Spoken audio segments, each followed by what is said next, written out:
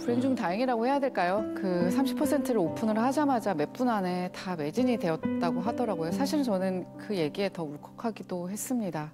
음, 그래도 이렇게 기다려 주셨던 분들이 계셨구나라는 생각에 그 마음에 보온하는 고자 하는 마음이 컸던 것 같습니다. 음, 역시. 이제 곧 공연이 시작됩니다. 관객 여러분께서는 저 때는 관객들도 설레요. 관객들도 그거 아세요? 관객들도 긴장해요. 긴장해, 말씀하세요. 네, 관객들도 실수할까 어디까지 어디까지 웃어야 되나 어디까지 박수 쳐야 되나 약간 그런 분위기가 있더라고요. 그 엉뚱한 타이밍에 박수 치는 사람도 있거든요.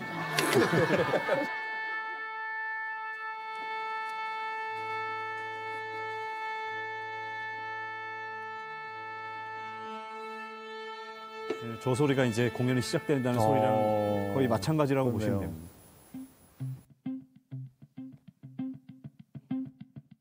음, 튜닝이 시작이 되고 객석이 아웃이 되고 제가 뒤돌아서.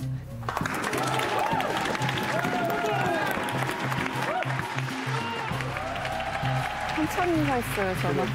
네, 인사를 하는 처음 숙제 검사를 받는 느낌이죠. 가이드 되게 긴장될 것 같아. 내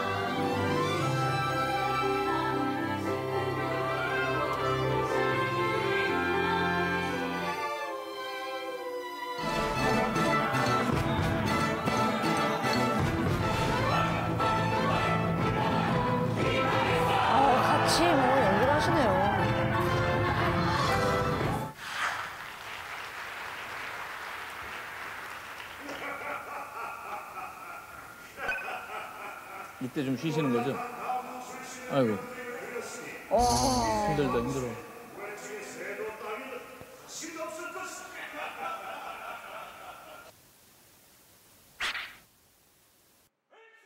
저건 몇 분 안 지난 것 같은데? 몇 초죠? 한 15초 정도? 15초? 15초, 20초.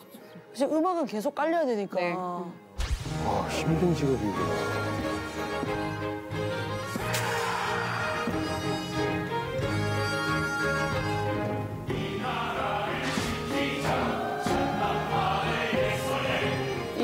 이이 연습하던 그 무대입니다.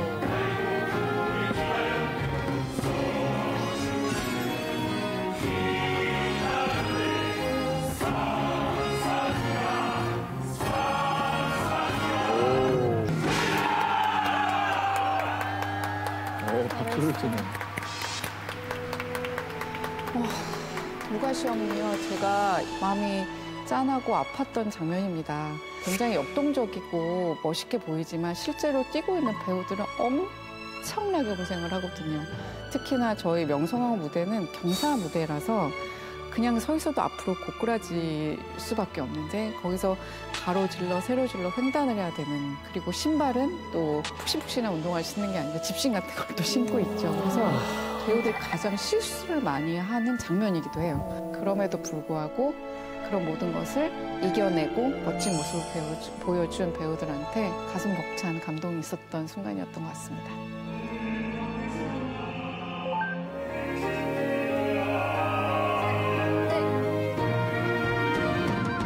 마침내 이검을 받았네 이루고 지키는 보람으로 밤이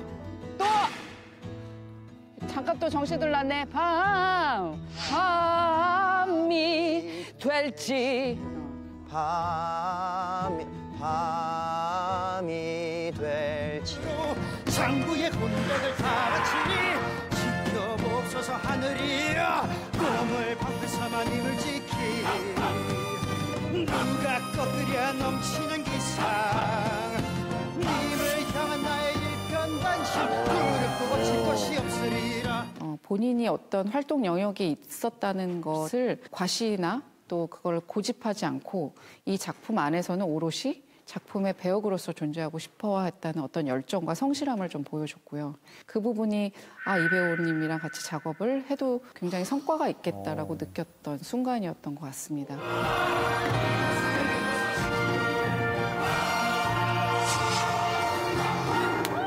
아, 저 뿌듯해하는 저 미소. 예. 멋있다. 와.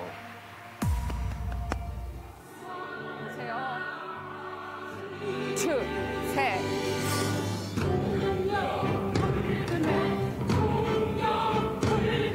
명성황후는 진짜 이 노래가 정말 하이라이트입니다. 하이라이트죠. 예.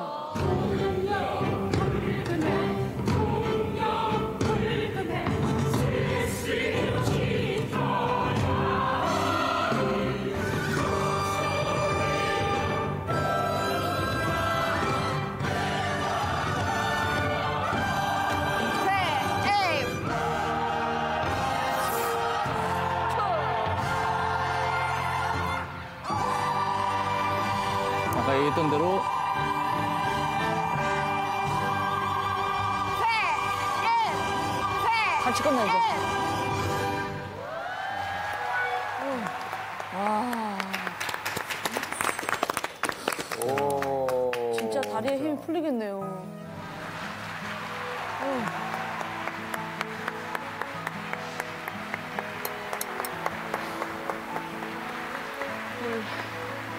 어우, 녹초되겠다. 진이 빠지겠다. 저거를 하루에 두 번도 한다는 거 아니에요? 체력적으로 너무 힘들겠다.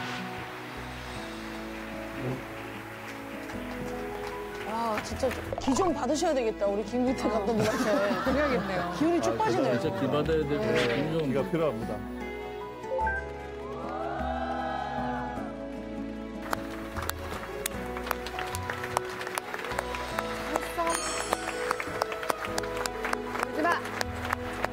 배우들이 많이 울었어 요.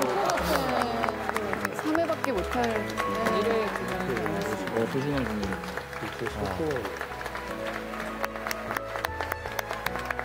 어우, 다 울겠다, 이거.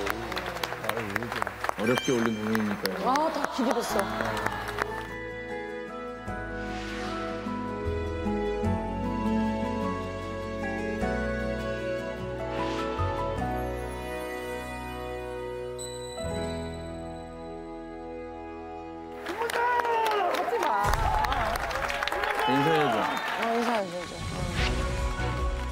배우들이 꼭그 음악 감독님 이름을 부르더라고요. 박수가 크고 환호가 크면 아 오늘 숙제도 잘 해- 해내었구나라는 스스로의 위로도 되는 아주 값지고 소중하고 제 인생의 가장 음, 멋있는 순간이라고 생각합니다. 영화다, 영화. 그러네. 어, 진짜 한 편의 영화를 본 것 같아요. 야, 80일간 했는데 딱 3일 공연이군요. 3회 공연.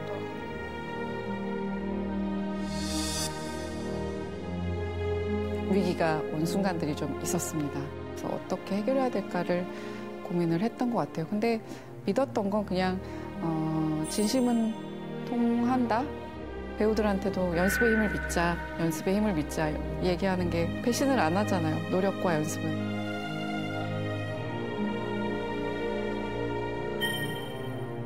어? 15개. 어. 음. 어우, 다들 만점이네요. 아, 다 10점이네요.